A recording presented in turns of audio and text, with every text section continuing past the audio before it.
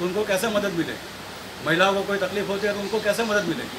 महिला हेल्पलाइन चालू हो चुकी तो ये जो हमारी महिला कमेटी है ये उनकी ज़िम्मेदारी आज प्रधानमंत्री जी ने संगठन की रचना की है। हमारे राष्ट्रीय अध्यक्ष ने हमें कल ही दो, दो दो दिन पहले हमारी एक मीटिंग की।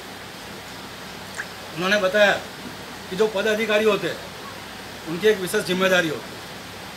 पद अधिकारी सिर्फ़ खाली कुर्सी पर बैठने के लिए नहीं होते, लेकिन वो खास एक दृष्टि और दिशा लेकर काम करते हैं।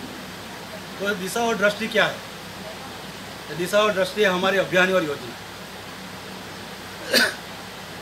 हम जब संगठन में काम करते हैं तो हमें पार्टी में कितने योजना चल रही कितना अभियान चल रहे हैं, ये सभी हमें मालूम होना चाहिए। और ये हमारी जवाबदारी है कि जितनी नीतियाँ आ रही दो दिन पहले ही प्रधानमंत्री जी ने दो नए फैसले लिए वन नेशन वन रेशन का। आज बहुत सारे लोग हमारे प्रदेश में माइग्रेट होकर रहते हैं।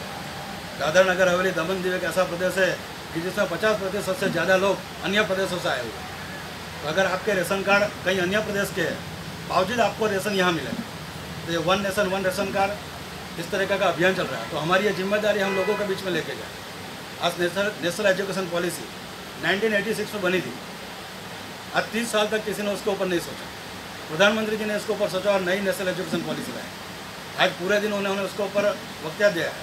तो ये हमारी ज़िम्मेदारी बनती है, हम लोगों के बीच में जाए, हम लोगों को समझाए कि नेशनल एजुकेशन पॉलिसी क्या है, किस तरह हमारा भविष्य बनने जा रहा है। तो ये हमारे पदाधिकारियों की ज़िम्मेदारी मैं ज़्यादा ना बोलते पुनः एक बार महिला मोर्चा की अध्यक्षा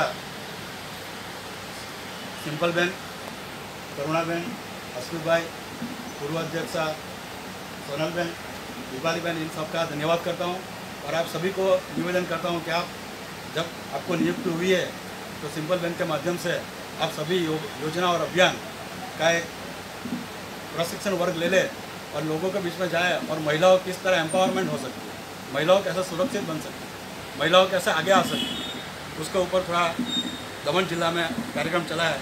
यही मेरी आपसे प्रार्थना है। धन्यवाद।